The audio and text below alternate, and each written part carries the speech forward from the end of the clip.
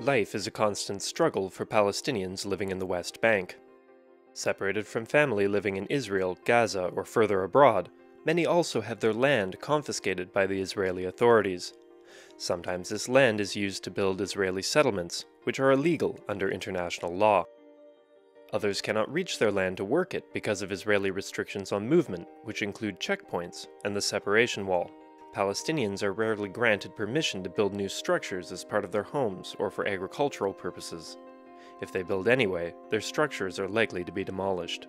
It is in this context that the International Christian Committee, or ICC, is working. We uh, translate our Christian teaching, our Christian values, we translate, uh, translate that into uh, action. So we are living our uh, Bible by uh, taking care of the people, by attending to them, by giving a voice to the voiceless, by uh, being there for them in their times, times of need and despair and uh, hopelessness.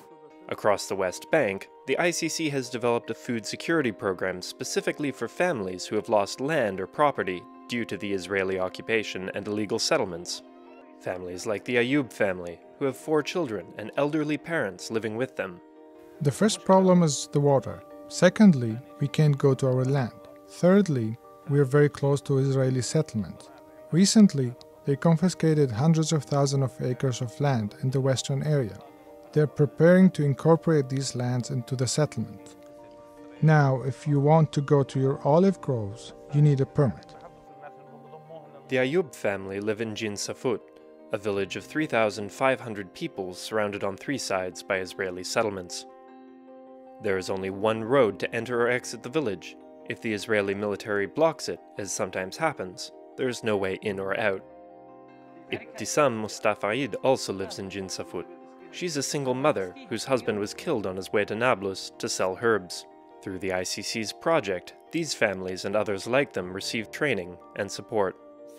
One year we plant vegetables, tomatoes, zucchini. The next we plant different types of grains. We alternate from year to year.